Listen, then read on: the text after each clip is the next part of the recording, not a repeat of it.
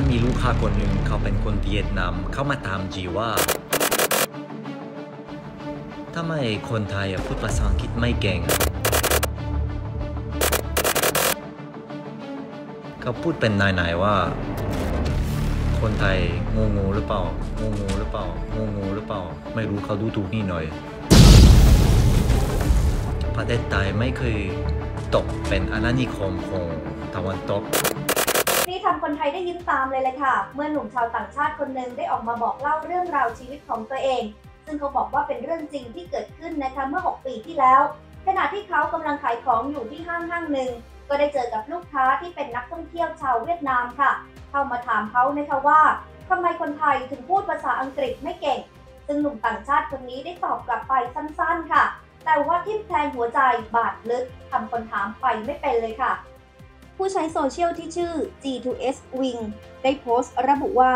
คนไทยไม่ยอมก้มหัวให้ใคร นี่คือบุคลิกที่ฉันชอบ พร้อมทั้งเล่าเหตุการณ์ที่ตนเองได้พบเจอมาเมื่อ 6 ปีที่แล้ว ซึ่งขณะนั้นผู้ใช้โซเชียลรายนี้ ได้ทำงานขายของอยู่ในห้างสรรพสินค้าชื่อดัง และขณะนั้นก็มีลูกค้าชาวเวียดนามคนหนึ่ง เดินเข้ามาถามว่าทำไมคนไทยถึงพูดภาษาอังกฤษไม่เก่ง ในเชิงที่ดูเหมือนดูหมิ่นทำให้ชายชาวต่างชาติคนนี้ตอบกลับไปว่า อาจจะเป็นเพราะว่าไม่เหมือนประเทศเวียดนาม ที่ประเทศไทยไม่เคยตกเป็นอาณานิคมของชาติตะวันตกทำให้ชาวเวียดนามคนนั้นถึงกับอึ้งไปไม่เป็นเลยทีเดียว6ปีที่แล้วอันนี้เป็นเรื่องจริงอะจีทำงานที่เซ็นทรัลขายของที่เซ็นทรัลเอชิดลมครับผมและตอนนั้นมีลูกค้าคนหนึ่งเขาเป็นคนเวียดนามเขามาถามจีว่าทำไมคนไทยพูดภาษาอังกฤษไม่เก่งอะเขาพูดเป็นนายๆว่า คนไทยงงูหรือเปล่า ไม่รู้เขาดูถูกนี่หน่อย จีตอบข่าวว่า อาจจะเป็นเพราะว่าไม่เหมือนประเทศเวียดนามคนไทย ประเทศไทยไม่เคยตกเป็นอาณานิคมของตะวันตก จริงอะเขาตอบอะไรไม่ได้เลยครับผมคลิปนี้ทำชาวเน็ตคนไทยเข้าไปแสดงความคิดเห็นจำนวนมากบ้างบอกว่า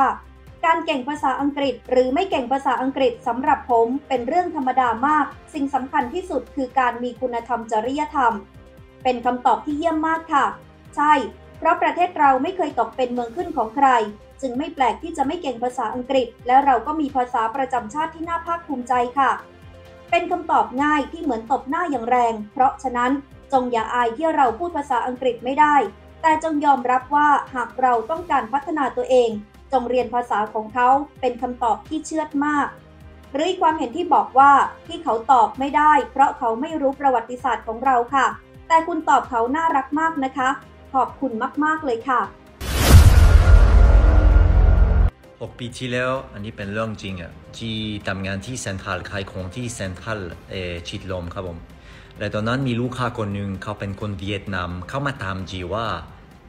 ทำไมคนไทยพูดภาษาอังกฤษไม่เก่งอะ เขาพูดเป็นนายๆว่า คนไทยงงูหรือเปล่า ไม่รู้เขาดูถูกนี่หน่อย จีตอบข่าวว่า อาจจะเป็นเพราะว่าไม่เหมือนประเทศเวียดนาม คนไทย ประเทศไทยไม่เคยตกเป็นอาณานิคมของตะวันตก จริง เขาตอบอะไรไม่ได้เลยครับผมไม่พลาดข่าวสำคัญระดับท็อปได้ง่าย ๆ ทุกที่ทุกเวลา กับแอปพลิเคชัน Top News รับการแจ้งเตือนข่าวสารใหม่ แชทคุยหน้าไลฟ์ได้ ดาวน์โหลดได้แล้ววันนี้ทั้ง App Store และ Play Store